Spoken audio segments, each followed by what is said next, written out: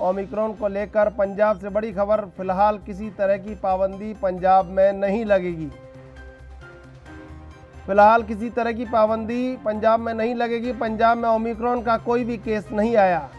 आगामी दिनों में सीएम चन्नी करेंगे समीक्षा बैठक। सीएम की बैठक के बाद पाबंदियों पर होगा फैसला।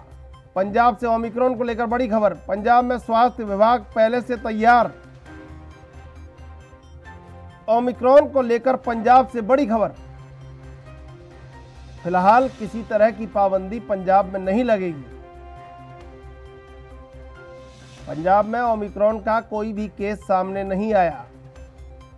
आगामी दिनों में सीएम चन्नी करेंगे समीक्षा बैठक।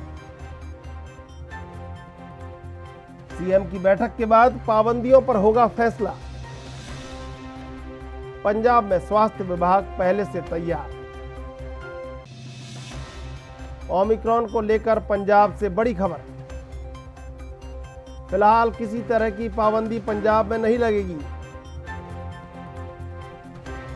पंजाब में ओमिक्रॉन का कोई भी केस सामने नहीं आया।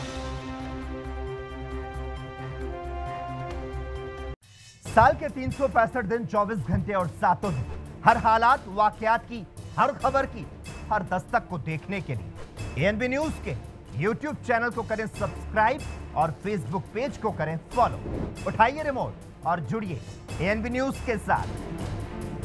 टाटा स्काई चैनल नंबर 1927 और एयरटेल चैनल नंबर 356 पर।